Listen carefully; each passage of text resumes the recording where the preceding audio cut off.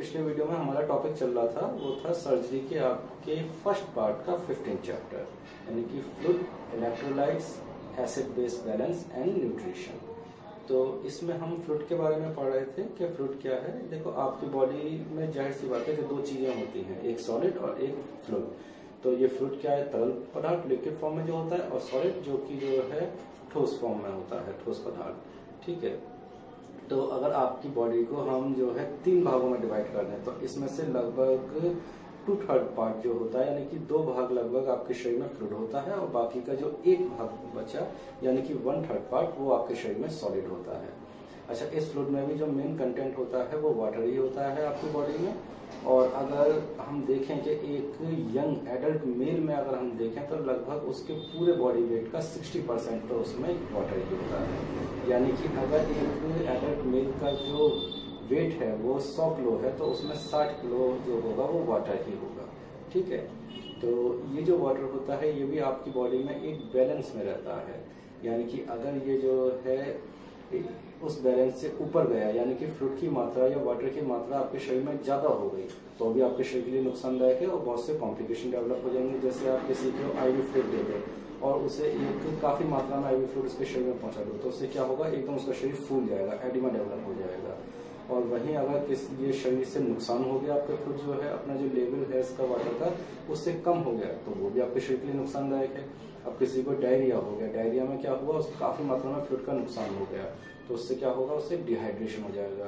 और ये डिहाइड्रेशन कई बार बहुत सीवियर हो जाता है, जिसकी वजह से शॉक तक उस पेशेंट का जाता है और कई बार उसकी मौत भी हो सकती है इससे। तो आपने देखा कि ये क्या है? वाटर का हमारे शरीर में बैलेंस में रहना कितना ज़रूरी है कि अगर ये शरीर में ज़्यादा हो रहा है तो भी बहुत नुकसानदायक है और अगर हमारे शरीर में कम हो रहा है तो भी बहुत नुकसानदायक है। अच्छा हमारे शरीर में ये बैलेंस में कैसे बना रहता है? इनपुट और आउटपुट से। ये इनपुट क्या है? यानी कि जो हमें वाटर मिल रहा है, वो इनपुट हो गया। और जो वाटर का हम लॉस कर रहे हैं, वो आउटपुट हो गया। तो हमें इनपुट क्या है? हमें यानी कि क्या, कहाँ से मिल रहा है वाटर भाई, दो तरीके हैं। एक तो यह है कि आपके बॉडी में जो है, जो मेटाबॉलिज्म की प्रोसेस हो रही है तो उससे भी क्या है? कुछ मात्रा में आपको वाटर मिलता है।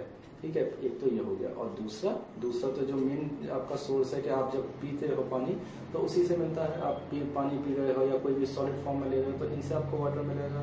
ठीक है? तो ये तो हो गया इनपुट अब आउटपुट यानी कि आप लॉस कैसे हो रहा है, आपके शरीर में से वाटर का?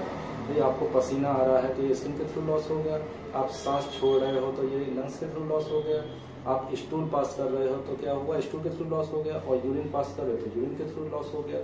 तो ऐसे आपका जो है, शरीर से जो है डेली लॉस भी होता है वाटर का। तो इसी इनपुट और आउटपुट से ही आपके शरीर में वाटर जो है बैलेंस में बना रहता है और जिससे कोई भी कॉम्प्लिकेशन डेवलप नहीं होता है। और जब ये बैलेंस बिगड़ता है तो कॉम्प्लिकेशन डेवलप हो जाएँगे। ठीक है? अच्छा ये जो फ्लूड होता है, आपको कितना चाहिए डेली तो उसके लिए मैंने बताया था कि एक जो हमारे स्किन से या लंग से, भाई, आपको कितना फ्लूड चाहिए होगा डेली जितना आप लॉस कर रहे हो, उतना ही तो फ्लूड चाहिए होगा। अब ये लॉस आप कैसे कर रहे हो? यानी कि लॉस कितना कर रहे हो? तो एक तो होता है इनसेंसिबल फ्लूड यानी कि लंग्स स्किन या स्टूल से जो आप फ्लूड का लॉस कर रहे हो, उसे आप काउंट तो कर नहीं सकते हो कि कितना लॉस कर दिया आपने। तो उस, इनको हम इनसेंसिबल फ्लूड कहते हैं। और इसके लिए एक एवरेज ज़रूर बता दिया गया है कि लंग से आप लगभग 400 हंड्रेड एम लॉस करते हो पूरे दिन में। और स्किन से आप 500 हंड्रेड एम लॉस करते हो और वही स्टूल से आप 100 एम लॉस करते हो। यानी कि टोटल आपने 1000 हज़ार एम लॉस इनके थ्रू किया इनसेंसिबल फ्लूड का लॉस किया। है ना? और इसके साथ ही जो आप यूरिन से लॉस कर रहे हो, उसे क्योंकि आप देख सकते हो, उसे काउंट कर सकते हो कि कितना आपने लॉस किया, इसलिए उसको इनसेंसिबल नहीं बोलते हैं। बाकी लॉस यूरिन के थ्रू भी हो रहा है, जो कि मेनली होता है वाटर का लॉस तो आपको इन चारों से जो है ना वाटर का लॉस हो रहा है, उतना तो आपको नुकसान हुआ डेली अब आपको मिल कितना रहा है इनपुट कितना मिल रहा है? एक तो जो मेटाबॉलिज्म से आपको मिल रहा है, वो हुआ लेकिन उसे आप काउंट नहीं कर सकते इसलिए उसे इनसेंसिबल फ्लूड बोलेंगे और वो लगभग एवरेज बताया गया कि पूरे दिन में आपको तीन सौ एम फ्लूड जो है, वो इस मेटाबॉलिज्म की प्रोसेस के तहत मिल जाता है। और वही जो आप पी रहे हो, वो, उसे तो आप काउंट कर ही सकते हो, जो आप पी रहे हो। तो हमने लॉस कितना किया? यानी कि जो एक हज़ार एम जो हमने स्किन के थ्रू लॉस स्किन और लंग्स स्किन के थ्रू लॉस किया, वो था कितना? एक हज़ार एम उसमें प्लस कर दो, जो आपने यूरिन से लॉस किया है। मिला कितना? एक तो तीन सौ मिल गया आपको, है ना? जो मेटाबॉलिज्म की प्रोसेस से मिल गया, अब उसे इस एक हज़ार में से माइनस कर दो, यानी कि सात सौ एम तो अब ये रहा आपका सात सौ एम और प्लस आपका जो यूनिट से आपने लॉस किया है वो तो ये टोटल जितना निकल के आएगा, इतना फ्लूड आपको डेली चाहिए। आपको रिक्वायरमेंट होती है कि इतना फ्लूड तो आपको डेली चाहिए, उस वाटर को बैलेंस करने के लिए। ठीक है? अच्छा अब ये ज़ाहिर सी बात है कि जब आपके शरीर से वाटर निकलता है तो ऐसा तो है नहीं है कि खाली वाटर ही निकल जाएगा। उसके साथ में कई तरीके के मिनरल्स हैं या कई तरीके के इलेक्ट्रोलाइट्स हैं, वो भी निकल जाते हैं शरीर से बाहर तो आपको उनकी भी ज़रूरत पड़ती है। अब आपने देखा कि कई बार आप जो है बाहर जा रहे हो, है ना, गर्मी में, और एकदम बहुत ज़्यादा गर्मी है तो उसकी वजह से क्या होगा कि आपके शरीर से इतना ज़्यादा पसीना आएगा, दूसरा आपके लंग्स के थ्रू भी, सांस के थ्रू भी काफ़ी जो है, जो वाटर है उसका लॉस होगा। तो जब आप घर पे आते हो तो आप तुरंत ही आके पानी पीते हो। उस वाटर की, क्योंकि जैसी वाटर की कमी हुई, आपको परेशानी, दिक्कत होने लग जाती है। तो उस कमी को दूर करने के लिए आप तुरंत ही पानी पीते हो। तो उससे पानी का बैलेंस तो हो जाता है, लेकिन कई बार जब आप देखते हो कि आप पानी में जो है जो ग्लूकोज है, वो डाल के या नमक वगैरह डाल के, नींबू डाल के आप उसको लेते हो तो आपको एक एनर्जी सी महसूस होती है। वो क्यों महसूस हुई या आपको एनर्जी का लॉस क्यों हुआ? क्योंकि खाली वाटर का नुकसान नहीं हुआ था, वहाँ पे वाटर के साथ साथ इलेक्ट्रोलाइट्स का भी नुकसान हुआ था। क्योंकि वो भी आपकी काफ़ी, जब फ्लूड निकला तो उसके साथ वो भी निकल गया आपके शरीर से बाहर। तो इसलिए आपको उनकी भी ज़रूरत पड़ती है आपको लेने की। तो आपने क्या किया कि यानी क्या वाटर में आपने ग्लूकोज या फिर नमक वगैरह मिला के वो लिया तो उससे उनकी कमी भी दूर होती है और तब तो उसको लेने पर आपको एक एनर्जी सी महसूस होती है। ठीक है? तो देखो, जनरल ये है कि जब आपके शरीर में वाटर का लॉस होता है, फ्लूड का लॉस होता है तो दो तरीके हैं कि आप उस फ्लूड को दूर किया जा सकता है। एक तो ये है कि आपको ओरली ही पीने को दे दिया जाए और दूसरा ये है कि अगर आप ओरली लेने में सक्षम नहीं है तो इंट्रावेनसली आपको फ्लूड दे दिया जाए। हालाँकि इंट्रावेनसली देखो, पहले क्या है, ये कितना ज़रूरी हो जाता है वाटर कि पहले एक समय ये था कि काफ़ी साल पहले जबकि ये इंट्रावेनस फ्लूड देने की सुविधा डेवलप नहीं हुई थी तो उस समय क्या होता था कि आप सिर्फ़ जो फ्लूड का लॉस हुआ है, उसको ओल्डे ही लेके पूरा करते थे और जिस समय कॉलरा जिसको कि हम हैजा बोलते हैं, वो फैलता था तो उसमें आपको डायरी मतलब लगातार आपको लूज मोशन हो रहे हैं, आपको वोमिटिंग हो रही है तो उसमें क्या होता था? काफ़ी मात्रा में फ्लूड का लॉस हो जाता था। आप उस फ्लूड के लॉस को कैसे पूर्ति कर सकते हैं? एक तो ये हो गया कि ओल्ड हम उसकी पूर्ति करें, लेकिन उस समय ओल्ड इतना फ्लूड ले ही नहीं सकता पेशेंट एक तो पेशेंट वैसे ही इतना ज़्यादा उसे वॉमिटिंग भी हो रही है तो वो इतना फ्लूड ले नहीं सकता। कई बार क्या होता था कि पहले टाइम में इससे सिर्फ़ हैजा से ही काफ़ी मौतें हो जाती थी। लेकिन आज जबकि इंट्रावेनस की सुविधा उपलब्ध है तो इंट्रावेनसली क्या होता है? शरीर में एकदम आप रैपिडली जो है काफ़ी मात्रा में फ्लूड शरीर में पहुँचा सकते हो, जिससे उसकी पेशेंट की लाइफ को हम सेव कर सकते हैं। ठीक है? ये इंट्रावेनस के फ़ायदे भी हैं। तो वैसे एक जनरल जो सिद्धांत है प्रिंसिपल है, वो तो यही है कि अगर आप मुँह से लेने में समर्थ हैं, ठीक है, बहुत ज़्यादा आपको सीवियर डिहाइड्रेशन नहीं है, तब तो आपको मुँह से ही लेना चाहिए फ्रूट और जब आप मुँह से लेने में समर्थ नहीं है, या तुरंत ही जैसे कि मैंने क्या इस तरह की मैंने बताई हैजा जैसी कंडीशन हो गई है सीवियर डिहाइड्रेशन हो गया है जिसमें कि आपको तुरंत ही कोई जो है काफ़ी मात्रा में फ्लूड की ज़रूरत है तो उस समय आप जो है इंट्रावेनसली ही फ्लूड आपको देना पड़ेगा। इंट्रावेनसली मैंने बताया, इसके कुछ फ़ायदे भी हैं। फ़ायदे ये हैं कि उसमें एक तो बहुत तेज़ी से आप काफ़ी मात्रा में फ्लूड दे सकते हो, लेकिन वहीं कुछ नुकसान भी है कि एक तो इसमें हॉस्पिटलाइजेशन की ज़रूरत है दूसरा अगर आपने ब्लड फ्लूड दे दिया तो उससे नुकसान हो जाएगा। पता चला किसी को डायबिटीज़ है और आपने ग्लूकोज उसे बहुत ज़्यादा मात्रा में दे दिया तो नुकसान हो जाएगा। या पता चला किसी को जो है हाइपरटेंशन की प्रॉब्लम है और आपने जो एन डी एन एस है या एन एस है, उसको काफ़ी मात्रा में दे दिया तो सोडियम आपने उसके शरीर में काफ़ी मात्रा में पहुँचा दिया तो उससे नुकसान हो जाएगा। तो सही पेशेंट में सही फ्लूड का जो है चूज़ करना भी बहुत ज़रूरी होता है। तीसरा ये है कि कई बार पता चला कि आपकी जो फ्लूड है, उसकी बोतल लीकेज है और वो इन्फेक्टेड हो गई है और ऐसे ही आपने इन्फेक्टेड फ्रूट को उसको लगा दिया तो उसकी बॉडी में इन्फेक्शन पहुँच जाएगा। तो ये उसके नुकसान भी है। ठीक है? तो ये हमने फ्रूट के बारे में पढ़ा था। इसके बाद मैंने आपको बताया कि मैं आपको बताऊँगा क्लासिफिकेशन यानी कि अगर आप देखो तो मार्केट में बहुत सारे फ्रूट आप देखते हो रिंगर सिलेक्टेड है डी फाइव है डी एन एस है आइसोलाइट भी है। तो इस तरह आप देखते हो कि बहुत सारे फ्रूट मार्केट में अवेलेबल हैं। तो अगर हम ब्रॉडली देखें तो हम इनको क्लासीफाइड कर सकते हैं। तो वो हम क्लासीफाइड इनको कैसे करते हैं इन फ्लूड्स को? तो वो क्लासिफिकेशन मैं आपको बताऊँगा, लेकिन उससे पहले कुछ टर्म्स जान लो आप, है ना? जब क्लासिफिकेशन आप अच्छी तरीके से समझ पाओगे, लेकिन उससे पहले कुछ टर्म्स हैं जिनको मैं आपको क्लियर कर दूँ तो आप और अच्छा समझ में आएगा आपको क्लासिफिकेशन वैसे ये टर्म्स जो मैं आपको बताने जा रहा हूँ, आप पढ़ चुके हो अपने इंटर में, लेकिन फिर भी यहाँ पे ये मैं आपको दोबारा क्लियर कर देता हूँ। देखो, पहली टर्म आती है ऑस्मोसिस। ठीक है, ऑस्मोसिस से भी पहले हम पढ़ेंगे डिफ्यूजन। ये डिफ्यूजन क्या है? ठीक है, डिफ्यूजन क्या है? देखो, अगर मैं आपको एक जनरली बताऊँ, देखो, आपसे एक जनरली चीज़ मैं पूछता हूँ। अब मैंने ये जो है, एक जो, एक ग्लास की, यानी कि कांच की एक यू शेप की मैंने जो है, एक ट्यूब ली। ठीक है, अब उसमें बीच में जैसे कि इसे मान लेते हैं हम। ठीक है? तो ये मैंने एक ग्लास की जो है, एक खोखली यूने क्या यू शेप की ट्यूब ले ली। ठीक है? अब मैंने इसमें क्या किया कि यहाँ पे कुछ अवरोध लगा दिया। ठीक है? यहाँ पे कुछ ऐसी चीज़ लगा दी जिससे कि जो है, इधर का फ्रूट इधर नहीं जा पाए उधर का फ्रूट इधर नहीं जा पाए अवरोध लगा दिया। ठीक है? अब मैंने इसमें फ्रूट भर दिया।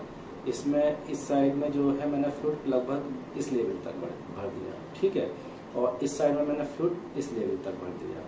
ठीक है? यहाँ तक। तो अब बताओ क्या होगा? और मैंने ये जो अब बीच में अवरोध था, उसे मैंने निकाल दिया, उसे हटा दिया। तो अब बताओ क्या होगा? तो ये एक नेचुरल सी चीज़ है कि होगा क्या? कि ये फ्रूट इधर को चला जाएगा, और ये ना, ये दोनों जो जो लेवल है दोनों बराबर आ जाएँगे। यानी कि जिधर को ज़्यादा फ्रूट है, वो कम वाले की तरफ़, कुछ मात्रा में फ्रूट कम वाले की तरफ़ चला जाएगा, और कितना फ्रूट चला जाएगा? जब तक कि ये दोनों जो हैं, ये इक्वल में नहीं आ जाए। यही होगा? हाँ बिल्कुल सही बात है, यही होगा। यानी कि क्या हुआ कि जो है, जहाँ पे कि वॉल्यूम ज़्यादा था फ्रूट का, वहाँ से वॉल्यूम किधर की तरफ़ चला गया, जहाँ पे कि फ्रूट का वॉल्यूम लो था, यानी कि कम था, उस साइड चला गया। तो इसी प्रोसेस को जो हम कहते हैं, वो डिफ्यूजन कहते हैं। ठीक है तो आपको क्लियर हो गया कि क्या है डिफ्यूजन अच्छा इसी तरीके से इसको एक और एग्जांपल से समझ सकते हैं कि हमने एक बॉक्स लिया, उसमें हमने एक जो है बॉल थी, जिसका कि टेम्परेचर काफ़ी ज़्यादा था, यानी कि 40 डिग्री सेल्सियस था। और वहीं हमने एक दूसरी बॉल जिसका कि टेम्परेचर था ज़ीरो डिग्री सेल्सियस बहुत कम था। उन दोनों बॉल्स को हमने एक बॉक्स में एक साथ रख दिया, एक घंटे के लिए छोड़ दिया। उसके बाद हम देखेंगे तो हम क्या होगा उसके बाद। जनरल सी चीज़ है कि उसके बाद क्या होगा? जब हम देखेंगे तो दोनों का टेम्परेचर लगभग बराबर सा हो जाएगा। तो यहाँ पर क्या होगा? कि जिस बॉल का टेम्परेचर ज़्यादा था, उस बॉल का टेम्परेचर जिसमें कि बिल्कुल भी टेम्परेचर नहीं था ज़ीरो डिग्री टेम्परेचर था जिसमें तो उसमें जो है वो टेम्परेचर चला जाएगा। तो दोनों का जो टेम्परेचर है वो इक्वल हो जाएगा। या यही तो आप देखते हो। तो इसी को हम कहते हैं डिफ्यूजन कि क्या हो रहा है कि जहाँ पे की चीज़ ज़्यादा है है ना? अब यहाँ पे क्या हुआ? जहाँ पे की टेम्परेचर ज़्यादा था, वहाँ से कहाँ चला गया? जिसका कि टेम्परेचर कम था उस साइड इसी को हम कहते हैं डिफ्यूजन अब इसमें दूसरा एक टर्म्स आता है ऑस्मोसिस ये ऑस्मोसिस क्या है? ऑस्मोसिस भी डिफ्यूजन ही है, लेकिन ऑस्मोसिस में कई बार हम जो है कंफ्यूज हो जाते हैं, क्योंकि ऑस्मोसिस में क्या होता है? अब अच्छा ऑस्मोसिस को पहले समझने से पहले हम एक चीज़ और समझेंगे कि ये सॉल्यूशन क्या होता है सॉल्वेंट क्या होता है और सॉल्यूट क्या होता है, ठीक है? तो इसमें सॉल्यूशन में क्या सॉल्वेंट क्या होता है? सॉल्वेंट जिसमें कि कोई चीज़ घोली जाए, जैसे कि आपने एक जो है चीनी का आपने, चीनी और पानी का आपने शरबत ले लिया, ठीक है? अब यहाँ पे जो पानी है वो आपका सॉल्वेंट है, ठीक है? जिसमें कोई चीज़ घोली जाए। सॉल्यूट क्या है? जिससे घोला जाए। अब यहाँ पे चीनी को आप घोल रहे हो पानी में तो चीनी क्या होगी सॉल्यूट। अब जब आपने इसे इसमें घोल दिया तो क्या बन गया आपका? सॉल्यूशन। जो आपका मिश्रण तैयार हुआ, उसे क्या कहेंगे हम? सॉल्यूशन। यानी कि सॉल्वेंट क्या हो? जिसमें कि कोई चीज़ घोली जाए। मेनली ज़्यादातर वाटर ही होता है। तो जिसमें कोई चीज़ घोली जाए, उसे क्या कहेंगे हम? सॉल्वेंट। और जिस चीज़ को घोला जा रहा है, उसे कहेंगे सॉल्यूट और घोलने के बाद जो मिक्सर तैयार हो गया हमारा, उसे कहेंगे हम सॉल्यूशन अब ऑस्मोसिस को समझते हैं। अब हमने क्या किया? एक ऑस्मोसिस की जो प्रक्रिया होती है, इसमें ये, इसमें हमने यहाँ पे एक सेमी परमिएबल मेम्ब्रेन लगा दी। ठीक है? सेमी परमिएबल मेम्ब्रेन ठीक है? अब हमने एक फ्लूड यहाँ पे भर दिया इसमें, यहाँ तक, और दूसरा फ्लूड हमने यहाँ तक भर दिया। ठीक है? तो लेकिन यहाँ पे हमने एक चीज़ का ध्यान रखो यहाँ पे जो हमने फ्लूड भरा, उसकी तो कंसंट्रेशन जो थी, वो कम थी। यानी कि उसमें जो सॉल्यूट थे अच्छा इससे पहले कंसंट्रेशन वर्ड को समझ लीजिए कंसंट्रेशन क्या है। अब जो आपको मैंने बताया कि जो आपका सॉल्यूशन है, यानी कि चीनी और पानी का जो घोल है, अगर मैंने जो है, जो एक गिलास पानी में एक चम्मच चीनी डाली तो ये आपका हो गया, यानी क्या सॉल्यूशन तैयार हो गया? अब वही मैंने एक दूसरा, यानी क्या एक गिलास लिया, जिसमें कि एक गिलास पानी में मैंने पाँच चम्मच चीनी डाल तो ये क्या हो गया कि जिसमें मैंने एक चम्मच चीनी डाली है उससे ज़्यादा कंसनट्रेट हो गया इसी को हम बोलेंगे कंसनट्रेशन यानी कि कंसनट्रेशन क्या हुआ? यानी कि जब आपकी जो है सॉल्यूट की मात्रा जो है, वो बढ़ रही है। किसी, यानी क्या है सॉल्वेंट में सॉल्वेंट तो आपका उतना ही है।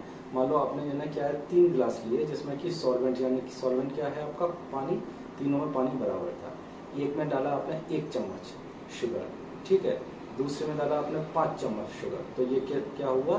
जिसमें एक चम्मच डाला, उससे ज़्यादा कंसनट्रेट हो गया। अब तीसरे में डाला आपने दस चम्मच शुगर तो ये पाँच चम्मच वाले से और ज़्यादा कंसनट्रेट हो गया। यानी कि कंसनट्रेशन के ये है, क्या हो रहा है यहाँ पे? कि जैसे जैसे आप सॉल्यूट की मात्रा बढ़ाते चले जा रहे हो, वैसे वैसे क्या हो रहा है? कंसंट्रेशन आपका बढ़ता चला जा रहा है। ठीक है? तो कंसंट्रेशन हम क्या कहेंगे किस चीज़ को? जहाँ पे कि सॉल्यूट की मात्रा ज़्यादा होती है। ठीक है? तो उसी को हम कहते हैं कंसंट्रेशन तो अब इसको समझते हैं। अब ये आपकी, है ना, क्या वही यूट्यूब आपने यू शेप की एक वो ट्यूब ले ली। ठीक है? ऑस्मोसिस को समझते हैं। अब यहाँ पे बीच में आपने लगा दी सेमी परमेबल मेम्ब्रेन अच्छा सेमी परमेबल मेम्ब्रेन को भी समझ लो कि सेमी परमेबल मेम्ब्रेन क्या होता है? एक होती है हमारी इम्परमेबल मेम्ब्रेन इम्परमेबल मेम्ब्रेन क्या होती है? जिसमें कि अब ये ना क्या है, यहाँ पे हमने मान लो कोई सॉल्यूशन डाला, ठीक है? एक सॉल्यूशन हमने यहाँ पे डाला, ठीक?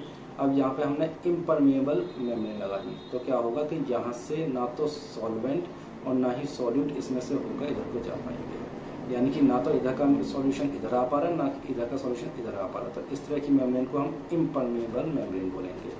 वहीं दूसरा एक शब्द इसमें आता है फ्रीली परमेबल मेम्ब्रेन जब फ्रीली परमेबल मेम्ब्रेन का क्या मतलब हुआ? कि यहाँ पे जब हमने ये मेम्ब्रेन लगाई तो इसमें से सॉल्यूट और जो सॉल्वेंट है, यानी कि सॉल्यूट क्या हुआ? चीनी। सॉल्वेंट क्या हुआ आपका? पानी। यानी कि चीनी और पानी दोनों ही इधर से इधर को जा रहे हैं, ये भी इधर से इधर को जा रहे हैं। ठीक है? तो ये हो गई फ्रीली परमेबल अब सेमी परमेबल क्या करती है? सेमी परमेबल सिर्फ़ सॉल्वेंट को तो अलाउ करती है, लेकिन सॉल्यूट को अलाउ नहीं करती। दूसरी जगह जाने के लिए। यानी कि वाटर तो आपका जो सॉल्वेंट है, वो तो चला जाएगा इधर से इधर, लेकिन जो आपका सॉल्यूट है, यानी कि चीनी है, वो इधर से इधर नहीं जा पाएगी। इस तो ये काम करती है सेमी परमेबल मेम्ब्रेन क्लियर हुआ कि सेमी परमेबल मेम्ब्रेन क्या करती है? सॉल्यूट जो सॉल्वेंट है आपका, यानी कि जो पानी है, उसे तो जाने दे रही है दूसरी साइड में, लेकिन जो आपका सॉल्यूट है, यानी कि चीनी है, उसे दूसरी साइड नहीं जाने दे रही है। तो यहाँ पे हमने जब ऑस्मोसिस की प्रक्रिया में, यहाँ पे हमने सेमी परमेबल मेम्ब्रेन लगा दी। ठीक है? अब हमने यहाँ पे एक साइड हमने क्या किया कि आपने यहाँ तक जो है वही डाल दिया आपने, यानी क्या जो आपने सॉल्यूशन तैयार किया था, जिसमें कि आपने एक गिलास पानी में एक चम्मच चीनी डाली थी, वो आपने यहाँ पे डाल दिया। अब यहाँ पे आपने डाल दिया, यानी क्या जो एक गिलास आपका पानी था, जिसमें कि आपने दस चम्मच चीनी डाली थी, वो आपने यहाँ पे डाल दिया। तो क्या होगा? बताओ, क्या होगा इसमें? इसमें क्या होगा? कि जहाँ जो एक चम्मच जिसमें कि चीनी है, यानी कि उसका कंसंट्रेशन कैसा है? लो क्योंकि उसमें एक ही चम्मच चीनी है। इसका कंसंट्रेशन कैसा है? हाई क्योंकि इसमें क्या है? दस चम्मच चीनी है। तो लो से हाई की तरफ़ चला जाएगा। ठीक है? यानी कि अब क्या हुआ यहाँ पे? जो पानी है आपका, यहाँ पे जो पानी है, वो लो से हाई की तरफ़ चला गया। ठीक है? समझे ऑस्मोसिस को? डिफ्यूजन और ऑस्मोसिस में जो है कंफ्यूज मत होना। डिफ्यूजन में क्या हो रहा है कि जो जहाँ पे कि आपका जो है, वैसे अगर देखा जाए तो दोनों एक ही, लगभग एक ही टर्म है ये। ठीक है ऑस्मोसिस में भी डिफ्यूजन ही हो रहा है, अगर आप पानी की मात्रा तो आपने देखा कि इसमें जो है पानी की मात्रा कहाँ पे? भाई, यहाँ पे जो है मैंने बताया कि यहाँ पे एक गिलास पानी है और उसमें एक चम्मच चीनी है। यहाँ पे एक गिलास पानी में दस दस चम्मच चीनी है। तो यहाँ पे दस चम्मच चीनी के हिसाब से तो यहाँ पे दस गिलास पानी होना चाहिए था। इसका मतलब यहाँ पे पानी कम है और यहाँ पे पानी ज़्यादा है। तो क्या हो रहा है? ज़्यादा से कम की तरफ़ आ रहा है। ठीक है? क्योंकि भाई पानी तो मूव कर रहा है। सॉल्यूट थोड़ी ना मूव कर रहा है। तो सॉल्यूट चाहे बेशक यहाँ पे सॉल्यूट ज़्यादा है और यहाँ पे सॉल्यूट कम है। लेकिन जब बात हम करते हैं सॉल्वेंट की, यानी कि वाटर की तो वाटर क्या है? यहाँ पे ज़्यादा है, यहाँ पे कम है। और पानी क्या हो रहा है सॉल्वेंट कम से ज़्यादा की तरफ़ जा रहा है। तो जो कि मैंने डिफ्यूजन में बताया कि क्या हो रहा था, कम से ज़्यादा की तरफ़ जा रहा था। मैंने बताया था, भाई टेम्परेचर जब ज़्यादा है एक बॉल का, एक बॉल का टेम्परेचर कम है तो क्या हो रहा है? ज़्यादा से कम की तरफ़ जा रहा है। इसी तरीके से यहाँ पे भी क्या हो रहा है, क्योंकि पानी की मात्रा यहाँ पे ज़्यादा है और यहाँ पे कम है तो ज़्यादा से कम की तरफ़ जा रहा है। लेकिन जब बात कंसंट्रेशन की करोगे तो यहाँ पे क्या है कंसंट्रेशन क्योंकि बस एक ही, उसमें एक ही चम्मच चीनी है तो यहाँ पे कंसंट्रेशन कम है। और यहाँ पे क्या है, दस चम्मच चीनी है, यानी कि काफ़ी कंसंट्रेशन ज़्यादा है, यानी कि गाढ़ा है ये। भाई कंसंट्रेशन जैसे जैसे ज़्यादा होगी, वैसे वैसे गाढ़ा भी तो हो जाएगा वो। कंसंट्रेशन यहाँ पे ज़्यादा है। तो क्या हो रहा है? लो कंसंट्रेशन से हाई कंसंट्रेशन की तरफ़ मूव कर रहा है। इसको हम कहते हैं, और जब सेमी परमेबल मेम्ब्रेन लगी हुई है तो इसी को हम कहते हैं ऑस्मोसिस इसको ध्यान से जो है पढ़ना, क्योंकि ये बहुत ज़रूरी है। ठीक है? इसे समझना अच्छी तरीके से ऑस्मोसिस की प्रक्रिया को कि ऑस्मोसिस में क्या हो रहा है, जहाँ पे कि लो कंसंट्रेशन है वहाँ से क्या हो रहा है हाई कंसंट्रेशन की तरफ़ मूव कर रहा है। इसको तुम एक घर में अपने एक एग्ज़ाम्पल से भी घर में एक सिंपल एग्ज़ाम्पल से भी इसे समझ सकते हो। कैसे? कि जैसे कि एक आलू ले लो तुम, ठीक है? आलू को छील लो ऊपर से। ठीक उसके बाद क्या करो, उसके नीचे से बेस को थोड़ा सा कट कर दो, जिससे कि इजीली रख सको आलू को। ठीक है? ऊपर से हल्का सा उसे कट कर दिया। अब उसे बीच में से खोखला कर दो आलू को। ठीक है? तो ये आपको, ये इस तरीके का तैयार हो गया। आपने क्या किया? नीचे से कट कर दिया। ऊपर से कट कर दिया इसे मैंने। और बीच में से ये खोखला कर दिया, यानी कि बीच का थोड़ा सा हिस्सा निकाल दिया, ये खोखला कर दिया इसे। ठीक है? अब क्या करो? एक उसमें जो है, ये हम क्या लिया हमने? एक बाउल सा लिया और उसमें हमने सिर्फ़ प्लेन वाटर इसमें मिक्स कर दिया। ठीक है? ये हमने सिर्फ़ प्लेन वाटर इसमें मिक्स कर दिया। अब हमने क्या किया इसमें? ये जो आलू है, इस आलू को इसमें रख दिया। ठीक है? इस आलू को हमने इसमें रख दिया और वाटर में डालना तो ये जो आलू था, इसमें हमने इसे रख दिया। अब इस आलू के अंदर जो है तुम, एक जो है इसमें, एक उसमें जो है गिलास में, पानी में, और उस पानी में जो है शुगर डाल के चीनी अच्छी तरीके से मिक्स करके इस आलू के बीच में डाल दो। जब वो भी नहीं हो तो खाली नमक हो, नमक ही इसमें डाल दो, है ना? एक नमक को इसमें मिक्स करके इसमें डाल दो, इस आलू के अंदर। तो आप और इसे लगभग एक दो घंटे के लिए छोड़ दो। एक दो घंटे बाद आप क्या देखोगे कि जो पानी आपने बाहर डाला था आलू पे, वो अंदर चढ़, अंदर भर जाएगा आलू के अंदर। ठीक है, इस खोखले पार्ट में यहाँ पे इकट्ठा हो जाएगा, यानी कि यहाँ पे काफ़ी चढ़ जाएगा, ऊपर को बढ़ जाएगा। तो ये क्या हुआ आप ऑस्मोसिस यानी कि आपने समझा कि यहाँ पे हमने क्या था कि आलू के बाहर हमने क्या रखा था?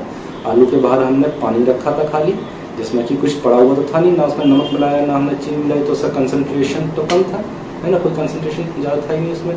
और वहीं हमने जो आलू के अंदर क्या डाल दिया हमने? आलू के अंदर हमने जो है चीनी मिक्स करके पानी को डाल दिया।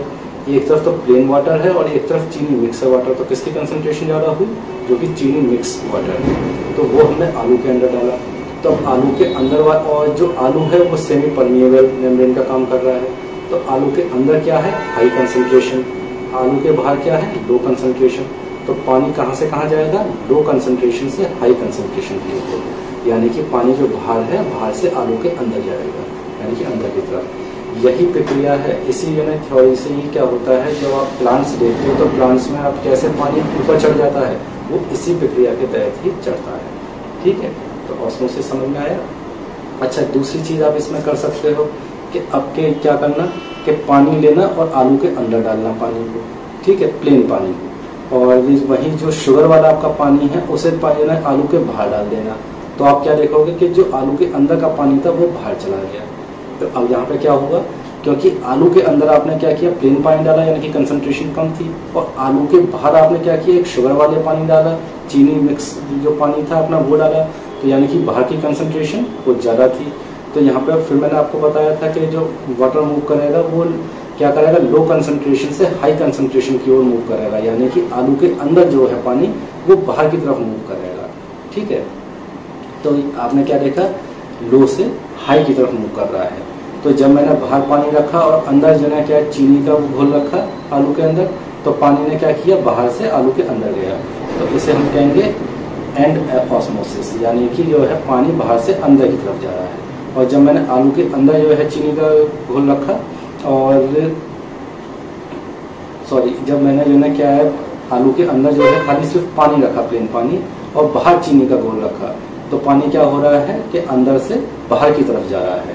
तो इसे हम क्या कहेंगे? एक्स ऑस्मोसिस सिंपल सी चीज़ है कि जब आपने जो है पानी को जो है बाहर खाली पानी रखा और आलू के अंदर आपने शुगर का सॉल्यूशन रखा तो पानी क्या हो रहा है? बाहर से अंदर जा रहा है। जब अंदर जा रहा है तो उसे एंड ऑस्मोसिस और जब आपने जो है क्या आलू के अंदर पानी रख दिया और बाहर चीनी का घोल रख दिया तो अंदर से बाहर की तरफ़ पानी जा रहा है। तो ये क्या हुआ? एक्स ऑस्मोसिस पानी जब अंदर जाए तो एंड ऑस्मोसिस और जब बाहर जाए तो एक्स ऑस्मोसिस क्लियर हुआ ऑस्मोसिस ठीक है। अच्छा ये जो है, इसके बाद हम आते हैं अपने क्लासिफिकेशन पर तो ये आपको अच्छी तरीके से समझ में आ गया कि ऑस्मोसिस क्या है। ठीक है। अब हम आते हैं क्लासिफिकेशन पर कि फ्रूट का जो आपको मैंने बताया था कि मार्केट में कई तरीके के फ्रूट हैं तो इनका क्लासिफिकेशन कैसे किया गया है? तो ब्रॉडली अगर हम देखें तो एक तो इसको ये है कि तीन उसमें इनको डिवाइड किया गया है।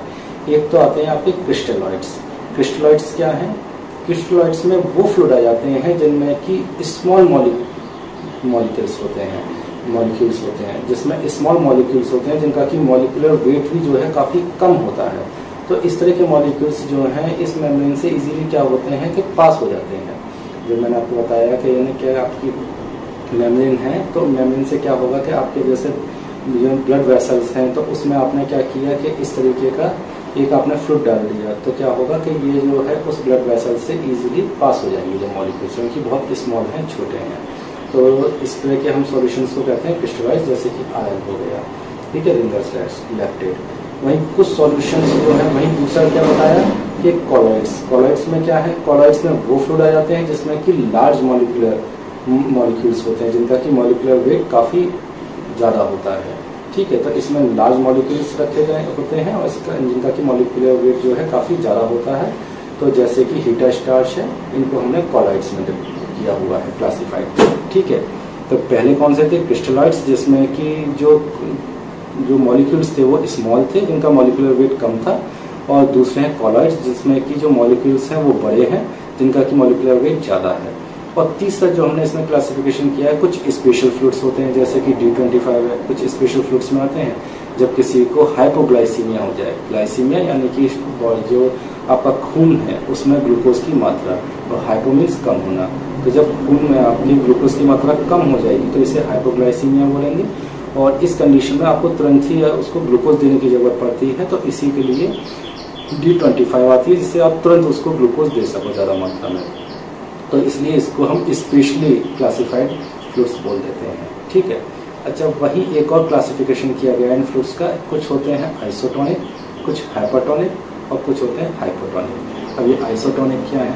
देखो आइसोटोनिक वो फ्लूड्स होते हैं जिसका कि जो है ऑस्मोटिक प्रेशर जो होता है। ऑस्मोटिक प्रेशर क्या होता है? कि मैंने बताया था, आपको मान लो एक तरफ़ लो कंसंट्रेशन का फ्लूड है, एक तरफ़ हाई कंसंट्रेशन का फ्लूड है। तो बीच में सेमी परमिएबल जो मेम्ब्रेन है, उस पर एक प्रेशर डेवलप होता है। उसी प्रेशर को हम क्या कहते हैं?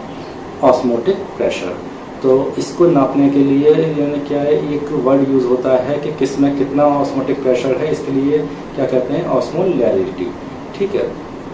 तो ये है, आपका जो है, इसको तीन उसमें डिवाइड किया गया है हाइपरटोनिक हाइपोटोनिक और आइसोटोनिक आइसोटोनिक जिसमें कि जो है आप जो फ्लूड दे रहे हो, उसमें है क्या कैसे ये समझ लो, जो आप फ्लूड दे रहे हो, उसका कंसंट्रेशन और जो आपकी बॉडी में फ्लूड्स हैं, उनका कंसंट्रेशन बराबर होता है। तो दोनों का ही कंसंट्रेशन बराबर है। तो मैंने बताया ही था आपको कि जब दोनों का ही कंसंट्रेशन बराबर है तो जो है कहीं पे जो मॉलिक्यूल्स हैं, जो आपका सॉल्वेंट है, वो मूव भी नहीं करेगा, यानी कि वाटर आपका कहीं मूव भी नहीं करेगा। तो ऐसे सॉल्वेंट में जब आरबीसी की सेल रहेंगी तो उनमें किसी तरह कोई चेंज नहीं होगा। इनको कहते हैं आइसोटोनिक वहीं दूसरा है हाइपरटोनिक हाइपरटोनिक में क्या हुआ? कुछ सॉल्यूशन ऐसे होते हैं जिसमें कि जो कंसंट्रेशन है उनका वो बहुत ही ज़्यादा होता है। और वहीं जब हमने ऐसे फ्रूट्स को किसकी तुलना में? आपके बॉडी फ्लूड्स की तुलना में। तो ऐसे फ्लूड्स को हमने आपके वेन में दे दिया। तो उससे क्या होगा? जब ऐसे फ्रूट्स को हम देंगे तो आर क्या होंगी? कि जब बाहर कंसंट्रेशन ज़्यादा है और आपकी आर का जो है, अंदर कंसंट्रेशन कम है तो कहाँ क्या होता है ऑस्मोसिस में? कम से ज़्यादा की तरफ़ जाता है वाटर तो आपके आरबीसी के अंदर जो वाटर है, वो क्या होगा? बाहर की तरफ़ आ जाएगा। जिससे क्या होगा? आरबीसी श्रंक कर जाएँगी, सिकुड़ जाएँगी। ठीक है? तीसरा बताया इसमें हाइपोटोनिक तो कुछ सॉल्यूशन ऐसे होते हैं जो कि हाइपोटोनिक होते हैं। इसमें क्या हुआ कि आपने मान लो ऐसा सॉल्यूशन आपने वेन में दे दिया तो यहाँ पे क्या है? यानी कि जिनका कंसंट्रेशन कम है। अब क्या हुआ? यहाँ पे कंसंट्रेशन का कम है और आपकी जो आरबीसीज हैं, उनके अंदर कंसंट्रेशन ज़्यादा है। तो क्या होगा? अब वही मैंने बताया ना कि कम से ज़्यादा की तरफ़ मूव करेगा वाटर तो यहाँ पर बाहर से वाटर क्या होगा? आपकी सेल्स के अंदर मूव करेगा, जिसकी वजह से सेल्स फूल जाएँगी और जिसकी वजह से एडिमा डेवलप हो जाएगा। तो समझे इस चीज़ को? ये तीन उसमें बांटा गया। आइसोटेनिक जहाँ पर कि क्या है? आरबीसी के अंदर का कंसंट्रेशन और आपके फ्रूट का कंसंट्रेशन बराबर है। तो वाटर कहीं पर भी मूव नहीं कर रहा, दोनों बराबर है। दूसरा हाइपरटोनिक अब आपका सॉल्यूशन जो है वो हाइपरटोनिक है, यानी कि कंसंट्रेशन ज़्यादा है और जो उसमें आरबीसीज हैं, उनमें कंसंट्रेशन कम है। तो क्या होगा कि आरबीसी से वाटर बाहर की तरफ़ मूव कर जाएगा और आरबीसी सिकुड़ जाएँगी। तीसरा क्या है? हाइपोटोनिक इसमें क्या है कि जो आपका जो है ना जो सॉल्यूशन है, उसका कंसंट्रेशन कम है। अब सॉल्यूशन का कंसंट्रेशन कम है, आपकी आरबीसी का कंसंट्रेशन ज़्यादा है तो क्या होगा? कम से ज़्यादा की तरफ़ मूव करेगा वाटर तो आपके सॉल्यूशन से आरबीसी की तरफ़ मूव करेगा, इसकी वजह से आरबीसी आपकी फूल जाएगी। ठीक है? एडिमा डेवलप हो जाएगा। तो ये था इनका क्लासिफाइड अब हम देखेंगे कि क्रिस्टलॉइड्स में हमारे कौन कौन से में क्या फ्रूट्स आते हैं और कॉलॉइड्स में कौन कौन से फ्रूट आते हैं तो वो हम पढ़ेंगे। जैसे कि डी फाइव है R N S D N S है आर एल है, इस तरह के कई फ्रूट हैं तो उनको किस तरीके से किस किसमें डिवाइड किया गया है वो आगे हम देखेंगे। तो आज के टॉपिक को यहीं पर ही कंप्लीट करते हैं।